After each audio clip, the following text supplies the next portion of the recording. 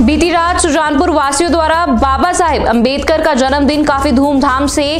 Cake काटकर मनाया गया इस मौके पर सुजानपुर से कई युवाओं ने हिस्सा लिया और सभी को बाबा साहेब के सोच से अवगत कराया गया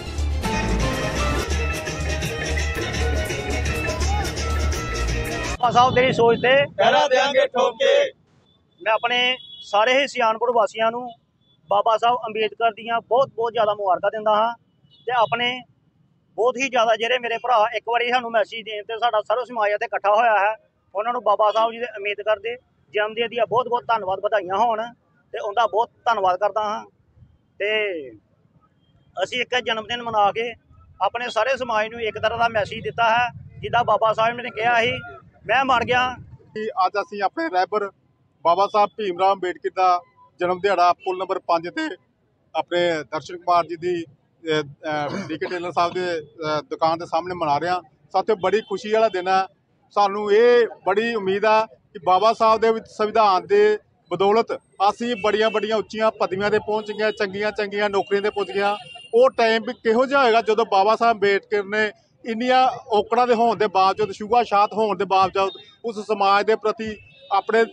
ਦਲਿਤ ਸਮਾਜ ਦੇ ਲਈ ਲੜਾਈ ਲੜ ਕੇ ਜਿਹੜੇ ਸਾਨੂੰ ਹੱਕ ਲੈ ਕੇ ਦਿੱਤੇ ਆ, ਸਾਨੂੰ ਅੱਜ ਉਮੀਦ ਹੈ ਕਿ ਅਸੀਂ ਬਾਬਾ ਸਾਹਿਬ ਦੀ ਅੰਬ-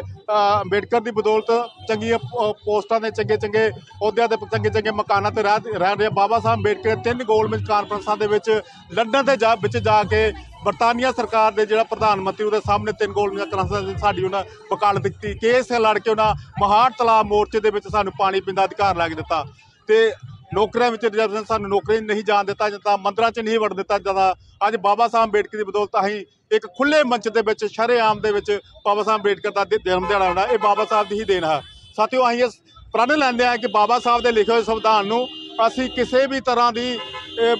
ਜੇਕਰ ਅਗਰ ਬਾਬਾ ਸਾਹਿਬ ਅੰਬੇਡਕਰ ਸੰਵਿਧਾਨ ਨਾਲ ਕੋਈ ਛੇੜਛਾੜ ਕਰਦਾ ਤਾਂ ਅਸੀਂ ਕਦੇ ਵੀ ਬਰਦਾਸ਼ਤ ਨਹੀਂ ਕਰਾਂਗੇ। ਬਾਬਾ ਸਾਹਿਬ ਦੀ ਅੰਬੇਡਕਰ ਜਦੋਂ ਤੱਕ ਸੰਵਿਧਾਨ ਜਿੰਦਾ ਬਾਬਾ ਸਾਹਿਬ ਅੰਬੇਡਕਰ ਸਾਡੇ ਨਾਲ ਸਾਹਮਣੇ ਸਾਹਮਣੇ ਜੈ ਭੀਮ ਸਾਥੀਓ ਸਾਰੇ।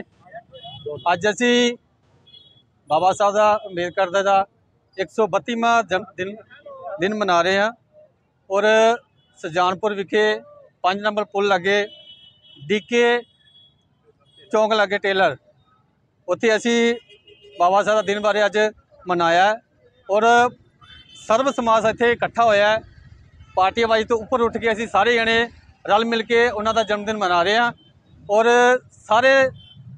ਧਰਮ ਇੱਥੇ ਇਕੱਠੇ ਹੋਏ ਆ ਇਹਦੇ ਚ ਬਾਬਾ ਜੀ ਸਾਹਿਬ ਦਾ ਜਿਹੜਾ ਮੈਸੇਜ ਹੈਗਾ ਸਾਰੇ ਪਬਲਿਕ ਨੂੰ, ਸਾਰੇ ਸਮਾਜ ਨੂੰ ਇਹ ਜਾਂਦਾ ਵੀ ਸਾਡੇ ਆਉਣ ਵਾਲੇ ਬੱਚੇ ਜਿਹੜੇ ਆ ਉਹ ਪੜ੍ਹ ਲਿਖ ਕੇ ਅੱਗੇ ਆਣ ਅੱਗੇ ਵਧੀਏ ਸਾਰੇ ਜਣੇ। ਇਸ ਕਰਕੇ ਅਸੀਂ ਸਾਰੇ ਉਹਨਾਂ ਦੇ ਜਨਮ ਦਿਨ ਤੇ ਸਾਰੇ ਸਮਾਜ ਵਾਸੀਆਂ ਨੂੰ ਇਹੀ ਅਪੀਲ ਕਰਾਂਗੇ ਕਿ ਸਾਰੇ ਵੱਧ ਚੜ ਕੇ ਆਪਣੇ ਬੱਚਿਆਂ ਨੂੰ ਪੜ੍ਹਾਓ। ਜੈ ਭੀਮ, ਜੈ ਭਾਰਤ।